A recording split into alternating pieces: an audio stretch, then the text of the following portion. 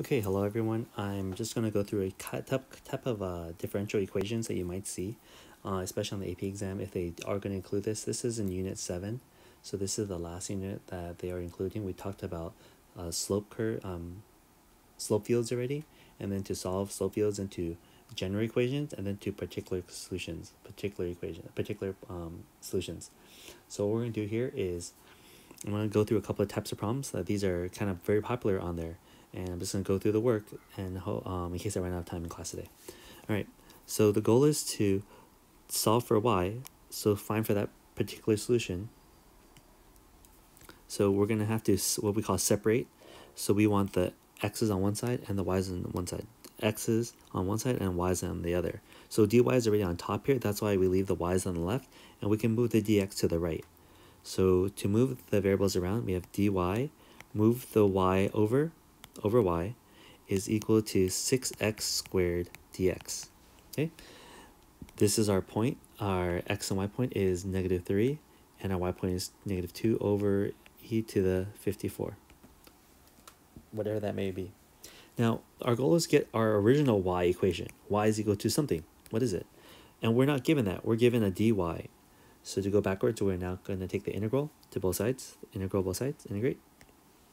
See, both sides have their own respective dy and dx. And when I integrate 1 over y, that's natural log of y. But remember, natural log of the absolute value of y is equal to um, the integral of this will be 6x cubed over 3 plus c. Okay, so that's our first initial c. Now, from this point here, we're going to have to go ahead and solve for our y. See, our goal is to get y. Um, so to do that, we're going to do a special move here. And we need to get out y. See how y is kind of buried here? Oops, y is kind of buried here. We have to get that out. So we're going to go ahead and get rid of the natural log by taking the e to both sides. Now here's the trick. This is all as an exponent, so please be aware of that. This is all an exponent. So we're going to rewrite this as absolute value of y is equal to e with everything on top. 6x cubed over 3 well, that's going to simplify, I'm sorry. That's going to simplify to just to become 2. And plus c. Now, we're going to have to rewrite this mess here. And here's a gimmick. 3 squared plus 5 can be rewritten as multiplying um, multiplying powers. So it's multiplying, sorry, yeah, multiplying powers. 3 squared times 3 to the 5th. You guys remember that? You can always separate them into multiplication. And that's what we're going to do here. We're going to say y is equal to, in this case, um, e to the 2x cubed, and we're going to multiply this by e to the c power.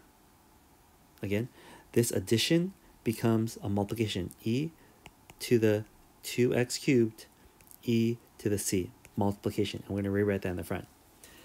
Now, one of the gimmicks that, that we do for this type of question is that we just call that a new type of c. We're going to call that c1 which is reason why we call it C1 because C1 is not the same as C. So just to make that distinction, so in case we go back and we start plugging C everywhere, we're only plugging into C1. Now, absolute value of y is equal to e to the 2x cubed. Now, the big deal about this next part is the absolute value. How do I get rid of an absolute value. And if you remember from Algebra 1, in Algebra 1 we say, hey, we get rid of an absolute value. Let's say this is equal to 4, make this up. This could be y is equal to 4 or negative y is equal to 4. And it's all about depending what y is. If y is a positive value, we can use this guy here because it wouldn't matter. If I say y is positive 3, you need an absolute value or don't need it, it doesn't matter. But what if y was negative 3? Then we would use this negative version. If I plug in negative 3 here, the negative and negative would force each other to be a positive. So the gimmick here is that we always have two versions for absolute values. You always have to write two. But we can make a smart decision. Looking at our initial y value, let's go back here, initial y value, is our y value going to be positive or negative? It looks like it's going to be negative, right? So our y value is going to be negative. So since it's a negative, we have to use our negative y version. So negative y is equal to c1 um, c1 e to the negative uh, 2x cubed a lot of people will always do this problem in a slightly different way also, saying that C1 could be positive or negative, So we actually don't have to write the negative, but I'm going to do that right now just to make sure we uh, cover all our bases. And then let's go ahead and plug in now our x and y. We said our x value here was negative 3 and our y value was negative 2 over e to the 54.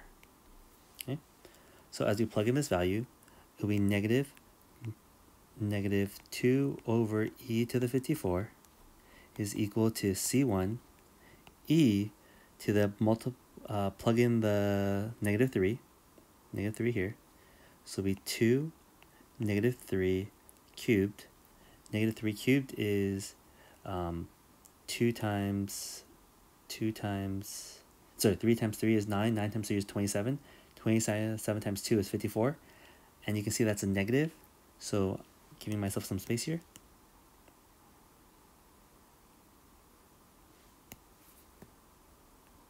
Some space here. This is going to be a positive 2 over e to the 54 equals to c1 1 over e to the 54. So what does C have to be to make these guys look alike? Well, you can multiply these across, and the e to the 54s cancel out. Then we write that, you guys need, need me to write that. e to the 54, e to the 54, those guys cancel out. And we're left with C1 is equal to positive 2. Double check our answer. C1 is positive 2. Now, if I want to rewrite this answer in a, uh, to answer our question, what is the y value? We go in and write y is equal to, from this answer over here, negative y is equal to 2 e to the 2x cubed. Moving the negative over, y is equal to negative 2 e to the 2x cubed. The biggest deal is remembering your steps from pre-calc. The only calculus move is right here. That's the only calculus move. Everything else is from pre-calc. All these moves here are from pre-calc. Okay, so let's go ahead and look at our next problem here. Next problem looks quite terrible, but it's going to follow similar steps. We go ahead and separate our x's and y's. So it'll be uh, dy over y is equal to 2x dx over x squared plus 2. I'm thinking this might be u substitution. If u is equal to x squared plus 2, du is equal to um, 2x, which gets rid of this 2x here. So that's going to be u sub for us. So it will be dy over y is equal to um, 1 over u du because our u substitution allows us to say 2x over u, and then dx becomes, sorry, dx over 2x. Those divide out. And then we can take the integral of this guy, will be natural log of y, absolute value of y is equal to natural log of absolute value of u, rewriting this, uh, plus, plus c. We're going to go ahead and change our u value back to our uh, x value, natural log of y, absolute value of y is absolute value of x squared plus 2 plus c, so natural log. To get rid of that natural log, we're going to have to, before we can even touch the absolute value, we're going to go ahead and get rid of the, abs, uh, the natural log by eing both sides. E both sides. So absolute value y is equal to e to the natural log of x squared plus 2 plus c. Like this c plus c like we did before, we're going to rewrite that as a product of powers. e to the c, natural log, sorry. e to the natural log absolute of x squared plus 2. Now, we said this could be positive or negative. y is going to be a negative here, so we have to fake it. So negative y is equal to um, e to the c, e to the natural log of x squared plus 2. Again, why did I put the negative there? Is because the y value is negative 3 here, and I'm going to plug in that negative 3 in just a moment, and I'll make sure that becomes positive. From this step here, I'm going to go ahead and simplify just a little bit. The, right here, the e to the ln, We know those two are inverses of each other, so that's going to cancel out, leaving me just the absolute value. Negative y is equal to e to the c. Well, let's change e to what we called the constant before. Call that c1. Um, absolute value of x squared plus 2. Natural log e, cancel it out. And we can go ahead and plug in our x and y value right now. X and y value we said before was 1, negative 3. We wrote it right here, 1, negative 3 um, y is negative 3. So negative y and negative 3 become a positive 3 like we were hoping for. Like back here, we were hoping that was going to be positive. Is equal to c1. We can plug in the 1 here. 1 squared is 1. 1 plus 2 is 3. Absolute value of 3 is just 3. So if we divide 3 to both sides, c1 is equal to 1.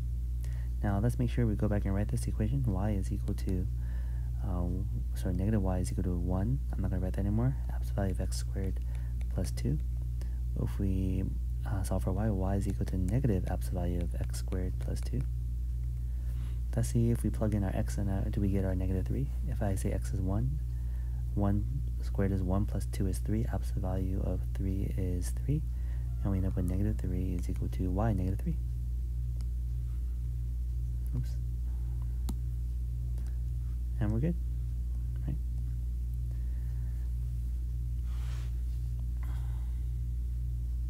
Okay. So the problems as we go through them, they always almost have the same type of uh, formula. So y dy over dx is equal to y equals to 1, y minus 1, I'm sorry.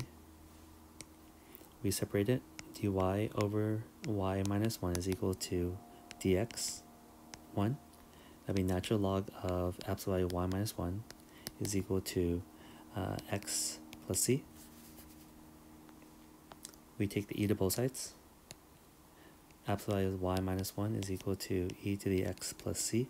We can rewrite that to become absolute value of y minus 1 is equal to, uh, right here is going to be e to the c times e to the x. We can call that just c1 times e to the x. If you want, we can look at the our y value here. It's going to be positive. Um, 2.7 dash, it's going to be negative actually. So one thing that they oftentimes do is they don't call a negative, they just let the negative fall where the C1 will be. What I mean is, since C1 is some, con some constant, we don't know it's plus or minus, so you can actually leave it as, we don't know until we solve for it. And oftentimes you'll see that because they do this method, they go in and just write y minus 1 regardless if it's plus or minus. And they'll just call c1 uh, times um, e to the x. So from here, um, I'm going to go ahead and plug in our x and y. Our x and y we said was um, negative 1 and e to the, oh, e minus 3 over e. I mean, it sounds looks pretty tricky, but we're just going to plug in and work it out. So plugging in our y, which is e minus 3 over e, minus 1 is equal to c1 e to the negative 1 power. I'm going to simplify this first to become dividing by e, be 1 minus 3 over e minus 1 equals e1, I'm sorry, c1, c1, and then 1 over e, rewriting that to the denominator. We see on the left side the 1, the 1 and the minus 1 uh, subtract out. So we're left with just negative 3 over e is equal to c1 1 over e. You can multiply e to both sides. Those divide out. So c1 is equal to uh, negative 3. Now making sure we go back and write our y is equal equation, answering the question. Um, so y minus 1 is equal to negative 3 e to the x. Don't forget to solve for y. Plus 1 to both sides. y is equal to negative 3 e to the x plus 1. And that's our answer. We can verify this by plugging in um, negative 1 to x. If I plug in negative 1 to x, that puts x on the denominator, and we end up with negative 3 over e plus 1. Common denominator is e. Negative 3 plus e all over e, which is our answer. That's e, sorry.